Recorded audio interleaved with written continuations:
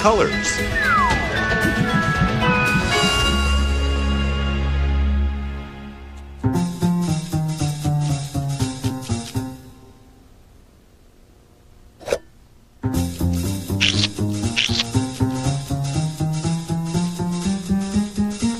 Doing some decorating, huh, Henry? Yeah, I need a change from white. I know what you mean. Being happy in your home environment is really important, and there's no better way to make sure it's a home that you like than by painting it your favorite colors. So what colors are you going to use? Well, I thought purple and green. Yuck, Henry, you have no taste. Well, I'm working with you. Go figure. Thank you. Maybe you'd get better results if you used one of these. Great! A merry-go-round! It's a color wheel. It helps show which colors go together best. Cool. Oh, I'll make it stop! Well, if you insist.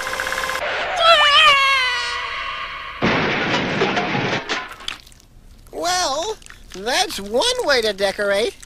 Maybe you should take a tip from the colorful world of animals, Henry.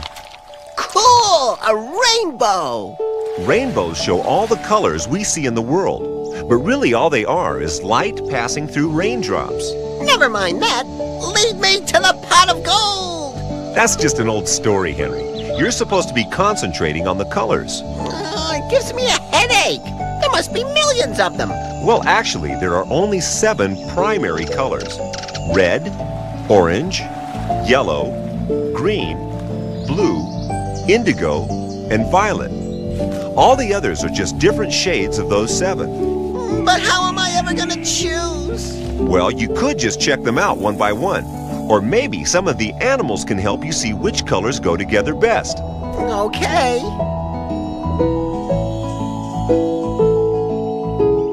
There's nowhere better to see every color under the sun and in every combination than on a coral reef.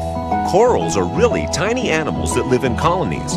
Together, they construct these huge underwater reefs. Amazing! It's like an underwater garden. And just like in a garden, the colors are made by plants. Plants? But you said corals were animals. They are, but they share their body with tiny plants called algae. Excuse me, they share their bodies? Uh, invasion of the body snatchers? No, Henry. The plants actually feed the coral and provide all its color. Without them, the coral would die.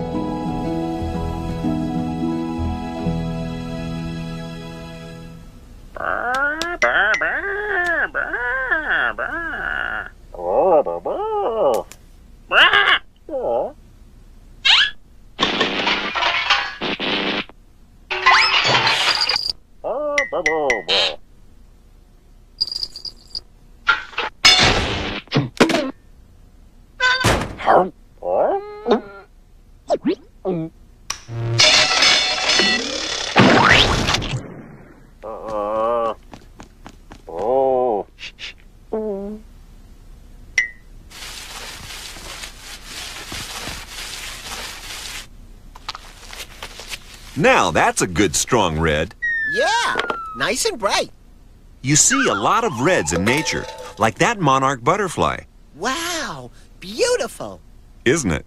But don't forget, red is also the color for danger. I knew that. If you know so much, then you won't need me to tell you that your ladder is about to fall over. What? Ah!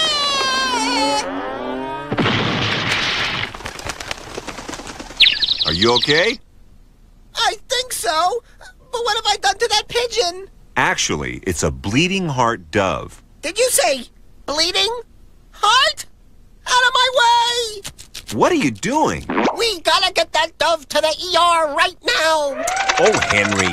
Henry, he's not really bleeding. It's just a patch of color that makes it look like he's bleeding. Like the false eyes on the tails of some fish, these red color patches are there to confuse predators. They confused me. Red is often used by animals to say, look out, I'm dangerous. What? Is that what those little guys are saying? Yep.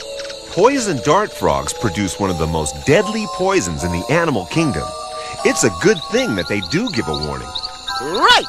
Red for danger! A bright red color nearly always means look at me, But it isn't always a danger sign. Check out these frigate birds. Whoa! He's all pumped up! That's his display. Male frigate birds puff their red throat sacs out like that to attract females. Yeah, right. Very attractive. The orange-red feathers of the cock of the rock are great for making a display in the forests where they live. The males dance together while the females watch. The females aren't as colorful, but then all they have to do is to choose their favorite male. I bet she chooses me. I'm everyone's favorite male. She'll choose the male with the best and brightest display. That's because she wants her chicks to be the best and brightest. Yeah, like my mom. She wanted me to be the best and brightest too. Boy, did she get lucky. Henry, you're the most conceited lizard I've ever met. Let's see how cocky you are about your report. Report? What report?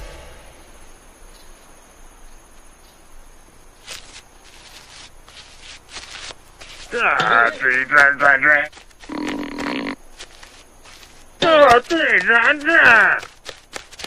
哦，哎，啊，哎，哼哼哼哼。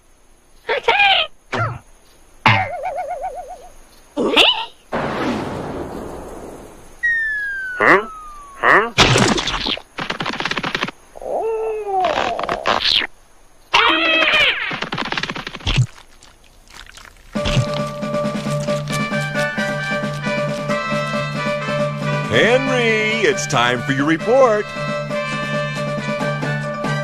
Henry, it's time for your special report. What? Now? Yes, Henry, now. Oh, You are ready, aren't you? uh, of course I am. What was it about again? You're supposed to be telling us all about albino animals. Oh, right. Here goes. Okay, so, uh, albino animals are ones that have no color in their bodies at all. They just end up looking white with pink eyes and stuff. How am I doing so far? I don't believe it, Henry. You've actually been doing your homework. Uh, yeah! Sure I have. Okay, so one animal that is always albino is the ax, uh, axanthrottle. Oh no, uh, axolotl. Yeah, that's it, the axolotl. A Mexican salamander with weird sticking up plant-like gills. Hmm, aren't you going to tell us why they're albino? Okay, okay, keep your hair on. Sheesh.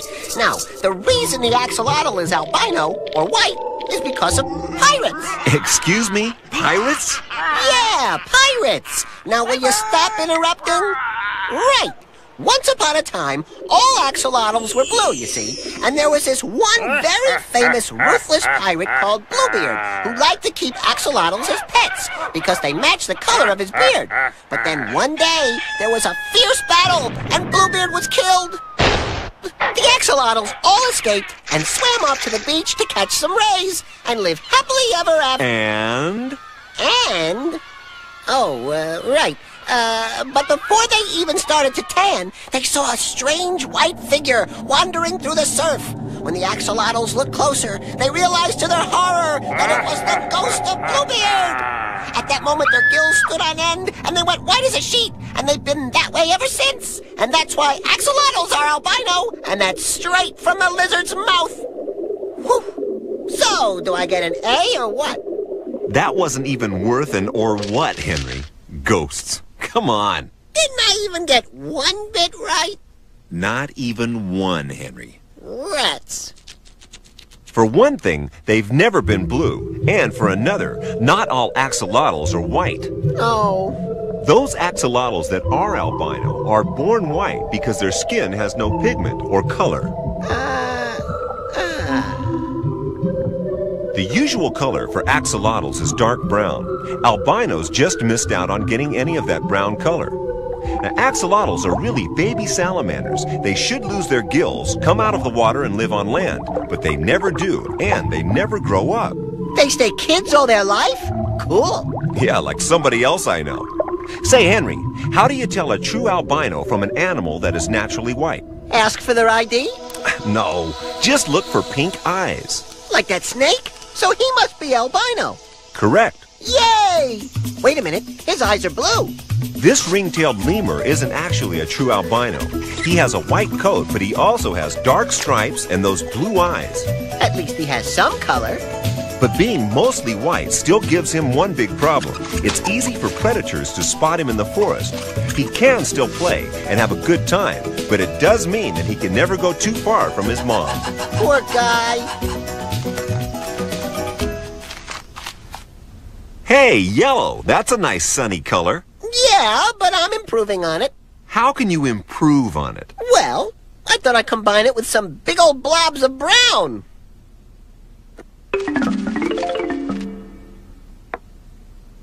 See what I mean? I guess it does make a neat pattern. Yeah, excellent. Reminds me of something. Can't think of what, though. Hmm, I think I know. Huh? Ah, a leopard! No, I know what that pattern reminded me of. But Henry, you didn't finish yet. You finish it. I'm out of here.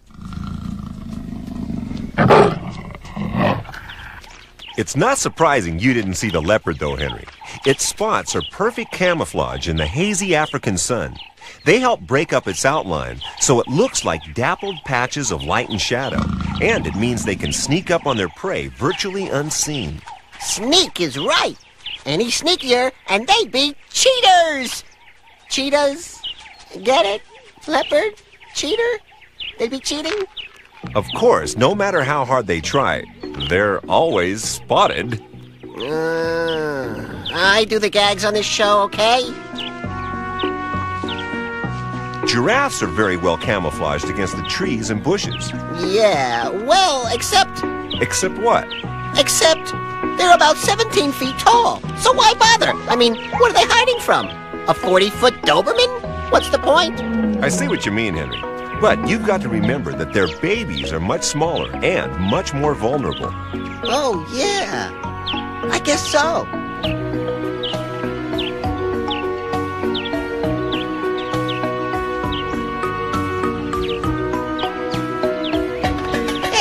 Mom, don't push. Giraffe calves need camouflage when they're young.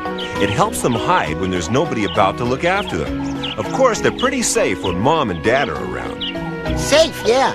But you can't have much fun with your parents looking over your shoulder all the time. And boy, can these parents really look over their shoulders. Come on, Henry, what do you have against them? Giraffe parents just take their jobs seriously. If they're so serious, how come they're sitting down on the job, huh?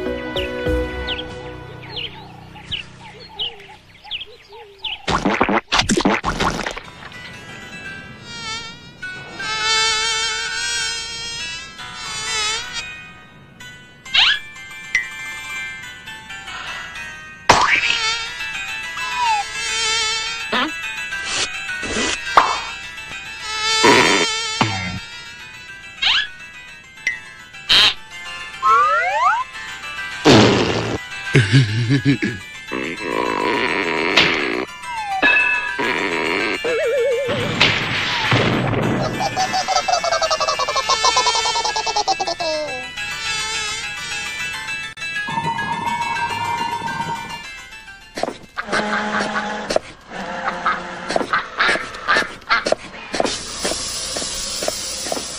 are you doing, Henry? Don't distract me. I'm spraying it all blue. Uh, no, you're not, Henry. Of course I am. Hey, what's going on? You mix the blue with yellow, and that makes green. It does? Excuse me, but that's amazing. Ah, Henry, where are you? I can't see you. I can't see me either. What's happened? Ah, because you're green, you're actually camouflaged against the green background. Really? Wow. Oh, I can't see where I'm going. Do something. Okay, Henry. Thanks. That was weird. Where did they come from? They were camouflaged just like you. Cool. Fellow green guys. What do you say we go get a soda and talk about some green issues and stuff? You know, did I tell you that green was my favorite color? Green seems to be nature's favorite color. Almost all plants and trees are green. Many of the animals that shelter in them are green too.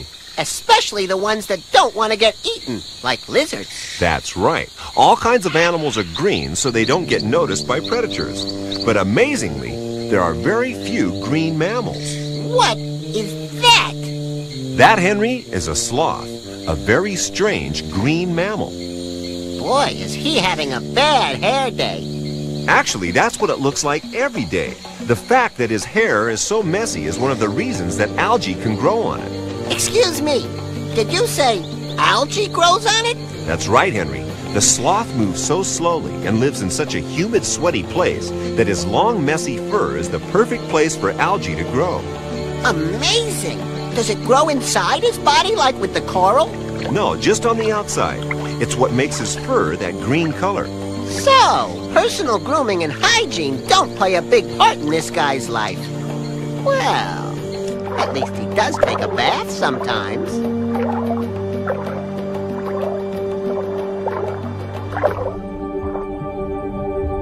What am I supposed to be looking at here? Can't you see the fish and the seaweed? Ah, okay. So this fish is green because it lives in water? It's because it hides in the seaweed. The kelp is the same sort of green as the fish. That's why it's called a kelp fish. Someone sure had some sleepless nights thinking up that one. I think it really suits him. There may be lots of other fish that live in the kelp, but most of them are bigger and feistier. They don't need to hide in the weed, but the kelp fish relies on it. They've probably all got real sensible names, too. Orange fish, right? Garibaldi's, Henry. Maybe kelp fish isn't such a dumb name after all.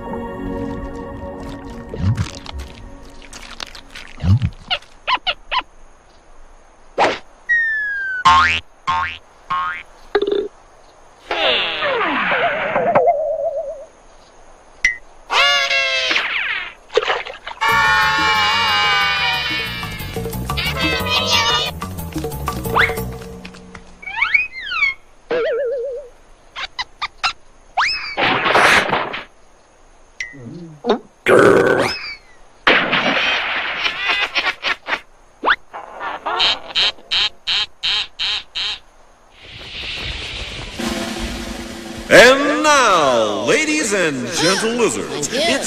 for Henry's Amazing Golden Gecko Awards.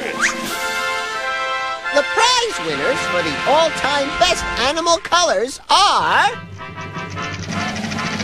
In third place is the frigate bird, the amazing seabird that blows up like a football every time he sees a girl go by. In second place is the chameleon. This is the real quick change master. They change their skin color more often than some people change their socks. But the winner of the Golden Gecko Award for the all-time best animal color is the hummingbird, the smallest, fastest flapping, and definitely the brightest and most colorful bird in the world. Hummingbirds have been called the jewels of the forest. It's partly because of their tiny size. Some aren't much bigger than bumblebees, but it's mostly because their colors seem to glitter just like jewels. Me, I think they kind of look like new cars. New cars. Yeah, you know, with the metallic paint job. Of course, some hummingbirds aren't always as sparkly as others. Some aren't sparkly at all. Where's all the color gone? It isn't really gone. It's just that their colors are iridescent. Iridesperate? Iridescent. It means that the colors we see are made by light passing through the tiny feathers. Well, why didn't you say so in the first place? The colors change and shimmer as the hummingbird and its feathers move, and as the light hits the feathers at different angles. Ah, so it's kind of like light that sets the colors free. That's right, Henry, and that's why hummingbirds aren't very colorful if it's cloudy or at nighttime. You can't see their colors at night? Now there's a surprise. Give me a break, Henry. Okay, hummingbirds and their amazing iridescent colors. The all-time best animal colors in a bright light.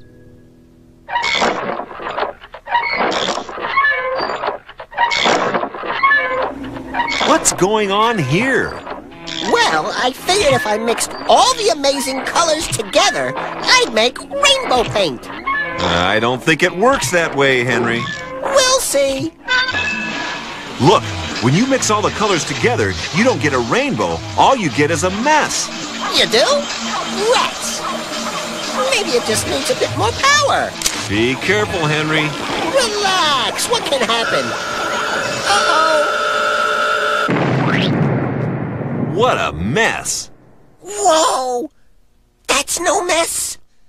That's art, I don't think so. Philistine. It's a masterpiece. A pulsating combination of contrasting black and white. Uh, Blobs and squiggles? oh, all right already. Look, I may not know much about art, but I sure know what I like. Well, I guess it does show that not everything has to be brightly colored to be, um, beautiful. Exactly. Now, I suppose there are a whole bunch of amazing animals that benefit from having a black and white coat. I guess the king of the world of black and white has to be the zebra. It's thought that those stripes actually serve a very vital purpose. Yeah, they save on decorating bills. If you have enough stripy friends around, who needs wallpaper? No, Henry. No two zebras have the same pattern. so the stripes are kind of like human fingerprints? Precisely, which means that they could use their stripes to tell who's who. But that's not all. Hey, I know. The stripes are supposed to hide them from lions who can't see where one zebra starts and another one ends. Pretty good, Henry. That's certainly one way having black and white stripes could help them. But some people reckon that they have even more uses. Stripes could protect them from the blood-sucking tsetse fly. This little fly carries the dreaded sleeping sickness disease, but it's thought that they have problems seeing black and white. That could make the zebra practically invisible to the tiny pest. Yeah, and if they do come too close, then the zebra has one last line of defense a handy fly swatter. Yikes! Skunk! It's actually a zorilla, Henry. But that black and white coat isn't lying. It is a relative of the skunk, and it can cause a big stink, too. oh, run away! You can bet that when its neighbors see those colors, they'll react exactly the same as you.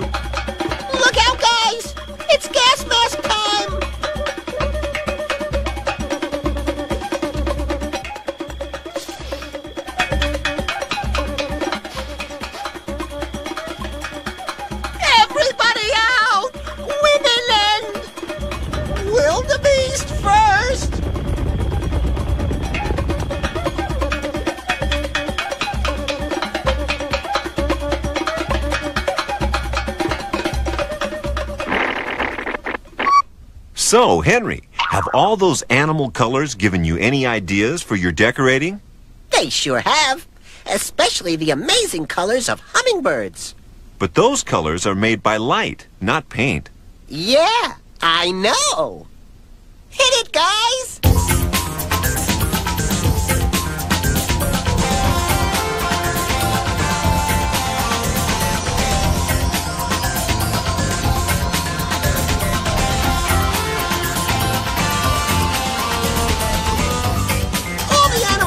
were so amazing, I couldn't pick just one.